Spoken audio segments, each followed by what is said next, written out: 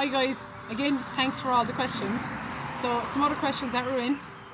So Padraig and Seamus from the school asked, when you were younger, which sport came easier for you to play? So for Padraig and Seamus, being honest, I think the sport that came that bit easier to me was football.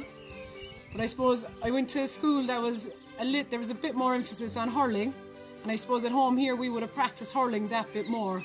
So even though football came that little bit easier to me, I was constantly, constantly practicing hurling. So I suppose after a while, you know, there wasn't a whole pile of difference between the two. Good question. And then the second question they asked was, how often did you practice? So I practiced as often as I could. So anytime the training was on in school or in the club, I always made sure and got there, brought my gear and made sure to be at training. And then any sunny day like we have today, I was outside with my hurling and sliotar and my football, practicing as much as I could. Thanks lads. Next we have Alex. So Alex plays football with Dunamore, she plays camogie with uh, Bullock and she plays plays um, GAA with Tripsy as well. So Alex asked, did you ever have to play against someone you were good friends with and did you have to take them down? Good question Alex.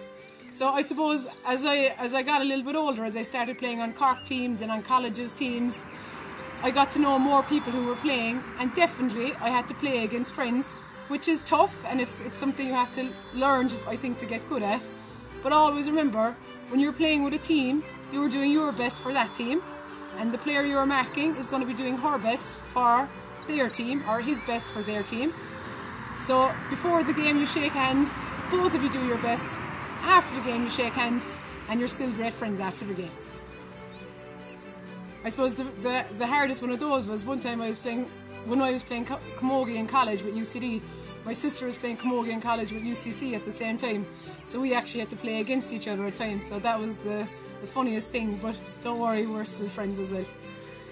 Um, and the second question that Alex has is, have you ever been so fed up in a match that you thought of quitting? So good question, Alex. So certainly I've been on, you know, involved in matches where, you know, we've taken an awful beating and towards the end of that game, certainly you would be waiting for the final whistle to come and you would be feeling fed up. But a bad game or a bad match shouldn't, shouldn't define you. Anybody can play a bad game. You know, we've all been on teams that we've been well beaten. But you know, you should always try and learn from those things. Do your best when you're there. And always think towards the next match. How can I do better the next day? And don't let the bad match or the bad game define you. Try and improve, move on, and enjoy the next game. So thanks lads for your questions. Really appreciate it.